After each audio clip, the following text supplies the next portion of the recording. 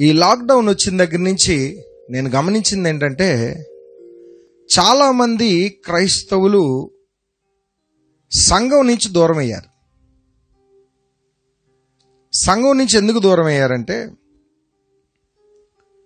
టీవీలో ప్రసంగాలు కానివ్వండి సెల్ ఫోన్లో ఫేస్బుక్లో ప్రసంగాలకు కానివ్వండి యూట్యూబ్లో ప్రసంగాలకి అలవాటు పడ్డారు. వినండి ఫేస్బుక్లో ప్రసంగాలు వింటున్నారు వినండి. యూట్యూబ్లో ప్రసంగాలు వింటున్నారు వినండి. ఎవ్రీడే మా లైఫ్ను కూడా ఫాలో అవ్వమని నేను చెప్తున్నాను వినండి. కానీ సంఘంలో ఉన్న విశ్వాసులు ఖచ్చితంగా సంఘంలో ఉండాలి. సంఘములో నాటబడిన వారై ఉండాలి. సంఘములో ఈ రోజుల్లో నాటబడి ఉండట్లేదు. సంఘానికి వెళ్ళకుండా మాని మానేసి ఇంట్లో కూర్చుంటున్న వాళ్ళ గురించి ఈరోజు నేను మాట్లాడుతున్నాను ప్రస్తుతం. మీ సంఘములో మీరు ఎక్కడైతే నాటబడ్డారో మీరు ఎక్కడైతే రక్షణ పొందుకున్నారో ఏ సేవకుల దగ్గర అయితే మీరు తరిపీదును పొందుకున్నారో ఏ సేవకుల దగ్గర అయితే మీరు బాధ్యసం పొందుకున్నారో ఏ సంఘం అయితే మీ కష్టంలో నష్టంలో మీ భుజం తట్టిందో ఏ సంఘం అయితే మీ బాధల్లో ఉన్నప్పుడు మీ గురించి ఉపవాసం ఉండి ప్రార్థన చేసిందో ఏ సేవకుడు మీ కష్టంలో ఉన్నప్పుడు మీ కష్టంలో ఉన్నప్పుడు మీ ఇంటికి వచ్చి లేక ఆయన ఉపవాసం ఉండి లేకపోతే దివారాత్రములు నీ గురించి ప్రార్థన చేసి నువ్వు దారి తప్పినప్పుడు నీ కుటుంబాన్ని సరిచేశారో ఆ కాపరి దగ్గర లేకపోతే ఆ సంఘము దగ్గర నువ్వు వెళ్ళకుండా వెళ్ళకుండా ఈ లాక్డౌన్లో మనము టీవీలకు అలవాటు పడి లైవ్ ప్రసంగాలకు అలవాటు పడి ఫేస్బుక్ ప్రసంగాలకు అలవాటు పడి ఆదివారము సంఘానికి వెళ్ళకుండా వీటికి లైవ్ ప్రోగ్రాములకి లైవ్ వీడియోలకి అలవాటు పడిన వారందరి గురించి నేను ఇప్పుడు మాట్లాడబోతున్నాను.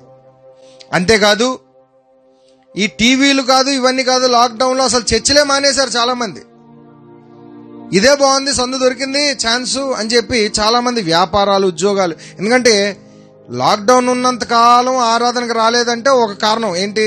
చర్చిలు లేవు కాబట్టి లాక్డౌన్ కాబట్టి చర్చికి వెళ్ళలేము లాక్డౌన్ ఎత్తేసిన తర్వాత ఏం కారణం అండి?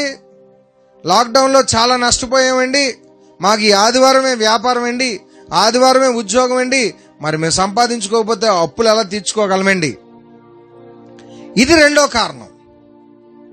ఇది చెప్పి అది చెప్పి సంఘానికి దూరం అయిపోయి సంఘ పరిచర్యకు దూరం అయిపోయి సంఘ ఆరాధనకు దూరం అయిపోయి సంఘములో సహవాసానికి దూరం అయిపోతున్నారు దూరం అయిపోతున్న మీ అందరి గురించి నేను మాట్లాడుతున్నాను. ఎవరెవరైతే దూరం అవుతున్నారు. నిజంగా సంఘంలో నాటుబడి ఉన్నారా? చాలా సంతోషం. ప్రభుకు మహిమ కలుగును గాక నేను సంతోషిస్తున్నాను. నాటబడి లేరా? ఈరోజు ఈ ప్రసంగం విన్నాక నువ్వు ఖచ్చితంగా మనసు మార్చుకోవాలి. నేను అంటాను మనకి వ్యాపారాలు ఉండొచ్చు బిజినెస్లు ఉండొచ్చు ఉద్యోగాలు ఉండొచ్చు. నేను చెప్తాను ఈరోజు ఆ వ్యాపారం ఆ ఉద్యోగం మీరు చేస్తున్న ప్రతి జీవనోపాధి పని నువ్వు బ్రతుకున్నావు కాబట్టి చేస్తున్నారు. దేవునికి స్తోత్రం. ఆ ఊపిరిని ఉంచిందెవరు? ఆ ఆయుష్ ఇచ్చిందెవరు? ఈ లాక్డౌన్లో మరణాల సంఖ్యలో నీ పేరు లేదు. మరణాల లిస్టులో నీ పేరు లేదు నీ కుటుంబం పేరు లేదు. బ్రతికున్నావు. ఎందుకు సంపాదిస్తున్నావు అంటే కుటుంబాన్ని పోషించుకోవాలి కదండి. ఏం వారం అంతా సంపాదించుకోవడానికి టైం లేదా? ఆదివారమే నీకు వ్యాపారం దొరికిందా? ఆరాధన సమయంలోనే నీకు ఉద్యోగాలు వినిపిస్తున్నాయా? లేకపోతే ఆ టైంలోనే నీకు అప్పుల బాధలు గుర్తొస్తున్నాయా? దయచేసి ప్రియమైన సంగమా గుర్తు చేసుకోండి. మనము బ్రతికున్నామంటే ఆయన కృప. యాసావు ఒక పూట భోజనం కోసం తన యొక్క జ్యేష్ఠత్వాన్ని ఇచ్చేశాడు. ఒక్క పూట భోజనం. ఆదివారం ఒక్క పూట భోజనం కోసం నీ ఆశీర్వాదాన్ని పోగొట్టుకుంటున్నావు. యాసావు జీవితాంతం ఏడిచాడు. ఆదివారం సంఘంలో ఉండకుండా అటు ఇటు తిరిగావా? జాగ్రత్త. సంగమా సంఘానికి వెళ్ళకుండా ఉండిపోవడం ఒక కారణమైతే సంఘాన్ని నిర్లక్ష్యం చేయడం కొంతమంది. నిర్లక్ష్యం. నిర్లక్ష్యం ఎందుకంటే సంఘం యొక్క విలువ తెలియదు సంఘం యొక్క విలువ తెలియట్లేదు. సంఘం అంటే ఏంటో అసలు తెలియటం లేదు. సంఘములో ఏ శక్తి ఉందో తెలియటం లేదు. అది తెలిసిన నాడు ఎవరు కూడా సంఘాన్ని విడిచిపెట్టరు. మత్తయి వార్త పదహారవ అధ్యాయము పద్దెనిమిది వచ్చినది. అండి ఈ బండ మీద నా సంఘమును కట్టుదును పాతాల లోకపు ద్వారములు దాని ఎదుట నిలవలేవు. దేవునికి స్తోత్రం. సంఘానికి ఉన్న శక్తి ఏంటంటే పాతాళము కూడా నిలవలేదు మన ఎదుట. దేవునికి స్తోత్రం. ఇప్పుడు ఈ రాజ్యం ఎదుట ఈ సంఘం ఎదుట ఈ సహవాసం ఎదుట నరకము కానివ్వండి లేకపోతే ఆ యొక్క పాతాళం కానివ్వండి నిలవలేదు. అదే దీనికి ఉన్న శక్తి. ఒక మనిషి పతనానికి వెళ్ళిపోకుండా కాపాడగలిగే శక్తి సంఘానికి ఉంది. ఈ సంఘంకున్న ఈ బలం తెలియక సంఘములో ఉన్న ఈ శక్తి తెలియక మనమందరము నిర్లక్ష్యం చేస్తున్నాం సంఘాన్ని. నిర్లక్ష్యం చేసి చాలా కోల్పోతున్నాం. నేను మాట చెప్తాను. సంఘంగా ఈరోజు మనం ఇక్కడ ఉన్నామంటే మన చుట్టూ ఎన్నో దుష్ట శక్తులు పనిచేస్తున్నాయి. మన చుట్టూ రాజకీయంగా పన్నాగాలు పన్నేవారు పనిచేస్తున్నారు. మన చుట్టూ ఉన్నవారు మనల్ని అణిచివేయడానికి పనిచేస్తున్నారు. మన చుట్టూ దుష్ట శక్తులు పనిచేస్తున్నాయి. చీకటి శక్తులు పనిచేస్తున్నాయి. విరోధులు పనిచేస్తున్నారు. ప్రతి విరోధుల నుంచి కాపాడుతూ మనల్ని కంటికి రెప్పలాగా కాపాడుతూ వస్తున్నారు మన తండ్రి అయిన దేవుడు. ఎందుకంటే క్రీస్తు రక్తము చేత కడగబడిన వారము.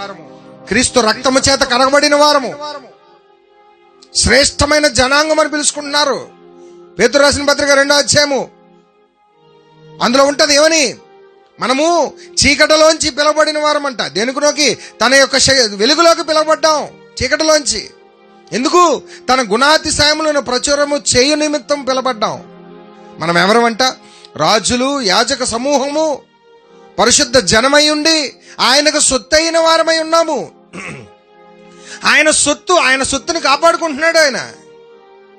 అందుకే అంటారు ఒక వాక్యం ఉంది. ఏంటి? ఇజ్రాయేల్ని కాపాడువాడు కునుకొడు నిద్రపోడు. ఇజ్రాయిల్ని ముట్టుకుంటే నా కను పాపను ముట్టుకున్నట్టే. సంఘాన్ని ముట్టుకుంటే దేవుని కను పాపను ముట్టుకున్నట్టే. సంఘానికి ఉన్న శక్తి అది. మరి అలాంటి శక్తివంతమైన పవర్ ప్యాక్ అయిన సంఘంలో నువ్వు ఉండకుండా ఎక్కడ తిరుగుతున్నావు? సంఘంలో బాధ్యత కలిగి నువ్వు నివసించకుండా ఎక్కడ తిరుగుతున్నావు? ఉద్యోగమా? వ్యాపారమా? నీ ఉద్యోగం నీకు అన్నం పెడతాదా? నీ వ్యాపారం నీకు అన్నం పెడతాదా? నీ ఉద్యోగం నిన్ను కాపాడుతుందా? నీ వ్యాపారం నిన్ను కాపాడుతుందా? నీ డబ్బు నిన్ను కాపాడుతుందా? కరోనా వ్యాధితో గొప్ప గొప్ప ధనవంతులు నేల మట్టి కరిచారు. ఏ ఉద్యోగం వాడిని కాపాడలేదు ఏ ధనం వాడిని కాపాడలేదు. ఈరోజు నువ్వు ఆదివారం పనికి వెళ్ళిపోదాం సంఘం మానేసి ఈ పనికి వెళ్ళిపోదాం ఉద్యోగం వెళ్ళిపోదాం డబ్బే నిన్ను కాపాడుతుంది అనుకుంటే ఒక బుద్ధి కలిగించడానికి ఒక సూచన చూపించాడు. కరోనా అనే మహమ్మారి. ప్రపంచంలో పెద్ద పెద్ద ధనవంతులు సైతం నెల కరిచారు. దేవుని వైపు తిరగడానికి ఒక గొప్ప ఉగ్రతను ఈ ఉగ్రతను అనుమతించారు ప్రభు. ఈ ఉగ్రతను అనుమతించారు ప్రభు. ఎస్ జనులకు తెలుసుకోవాలి.